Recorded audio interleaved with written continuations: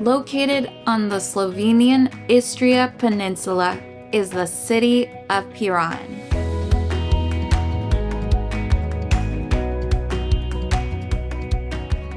Recognizable by its red roofs, long piers, and Venetian architecture, Piran is a beautiful coastal city that seemingly floats above the Adriatic Sea. Once an Italian town, is now transformed post World War II to embrace Slovenian culture and heritage. While walking through the narrow stone paved streets, you'll be met with the perfect intertwining of both cultures and histories. In this video, we'll bring you guys along to this hidden gem of Slovenia as the ultimate day trip from anywhere in the country. From climbing high up to the famed clock tower, to enjoying a decadent coffee in Tartini Square, Piran is a truly unique town in Slovenia.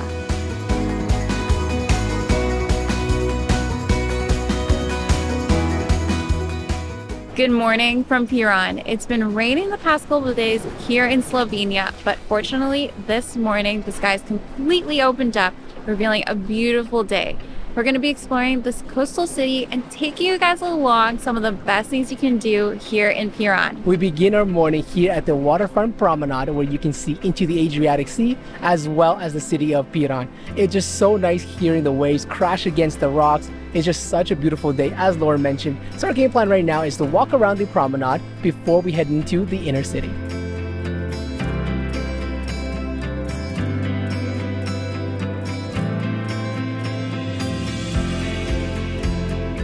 All around the promenade that outlines the Piran Peninsula, you can actually dip in for a swim. They actually have the bars and steps that indicate where you can go in.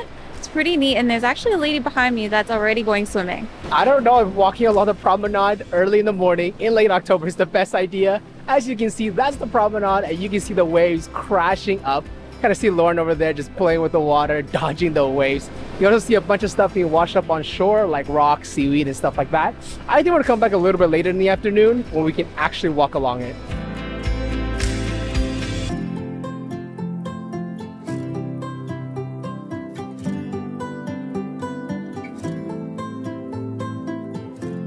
Since the tide is really high right now, we thought to get higher, and one of the highest points in Piran is the St. George Church. St. George is the patron saint of the city. He's thought to have saved Piran from a violent storm. So we're gonna go up and check out this beautiful church, and while walking along it, we can check out this cool graffiti wall.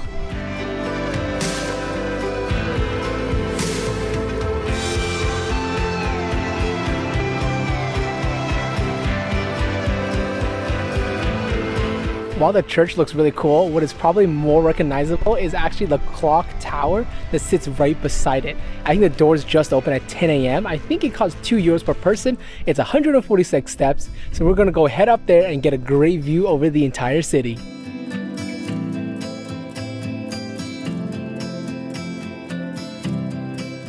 The stairway is pretty narrow, but it looks like it was recently constructed and it's all wooden, so it's really easy to step up. And at every corner, pretty much, of the staircase, you'll see names of different archangels, and it looks like they're going up in rank.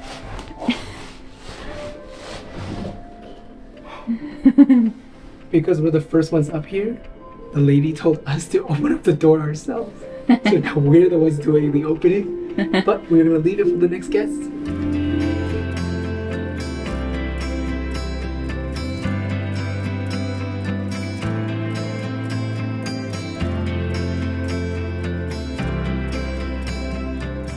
Notice a resemblance between this bell tower and the bell tower in San Marco Square in Venice, and that's because the Venetians actually ruled Piran for about half a millennia. The architecture is so akin to what you see in Venice too, like the white stone, the terracotta roofs of the city. Now this bell tower is a lot smaller, so you can maybe fit like 20 to 30 people max up here. So we're so glad that we're the only ones and the first ones up here to enjoy the view.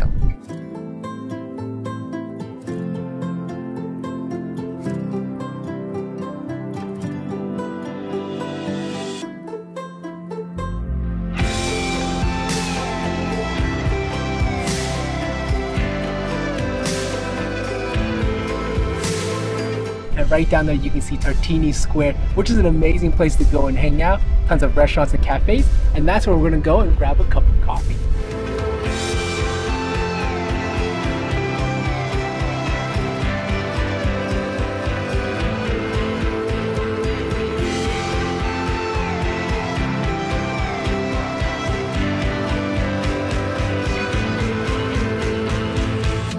Cheers. Cheers to our morning coffee. Mm. Oh, yeah. That was much needed. We're at Gijola. It's this little cafe that sits right on the edge of Tartini Square, and you have a completely unobstructed view of it and the Campanile or bell tower right behind us.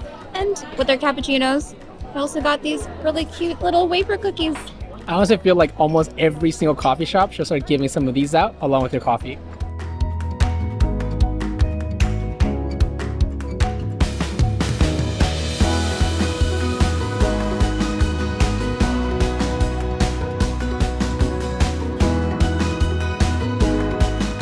We were on our way towards the city walls when we came across this monastery, which is the Church of St. Francis of Assisi.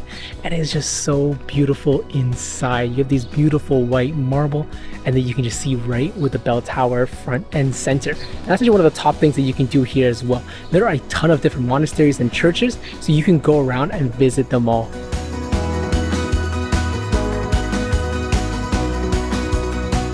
We just made it into Piran's old city wall. It's crazy. These walls were built periodically over about a thousand years. And of course, like the bell tower, it is very narrow of these steps that we have to climb up. But once we get up there, I think it'd be really cool to see this piece of history along with the views of the city.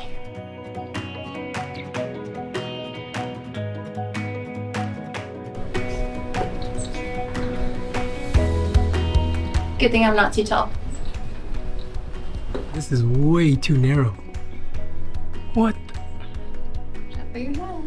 Oh. I'm not gonna make it. I'm not gonna make it. Give me the camera. I'm not gonna make it. It's going without me. Let's just leave him here.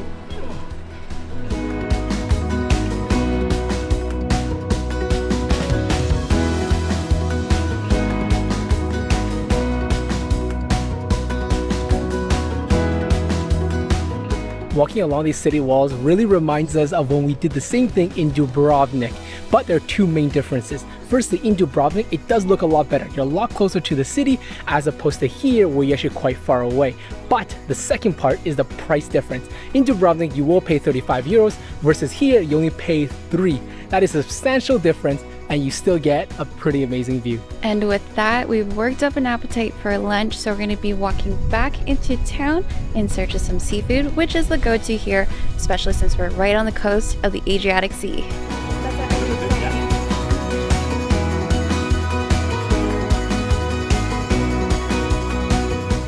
Ooh. I'm gonna try not to drool because my mouth is salivating so much looking at this and smelling it. We've got a whole combination of grilled squid, fried squid, white bait, stuffed fried olives, french fries, and tartar sauce, and some bread, some toasted bread to accompany it. So beyond excited. Everything looks so good. I think I'm gonna go for the fried calamari right here.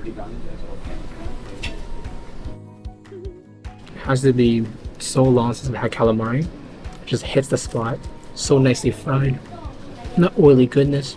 It look a little bit crazy, but they're so crispy and have this natural saltiness from the little fish itself.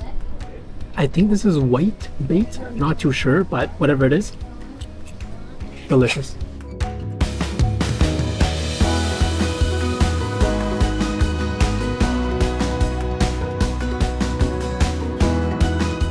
We are back where we started this morning at the waterfront promenade.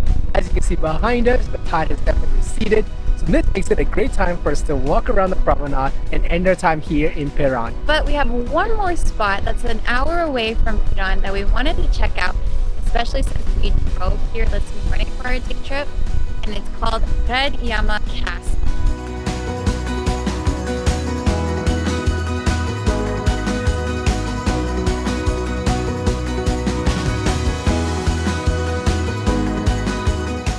This is something straight out of a fantasy movie.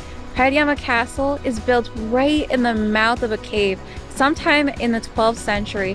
This Renaissance castle just reminds me of some fairy tale, offlandish area.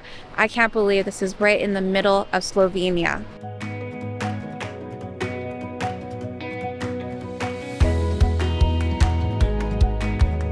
So you can pay to go inside of the castle, but if you didn't want to, you can actually take a little walking path that leads you right down to the base of the castle. And it's so cool seeing it from below.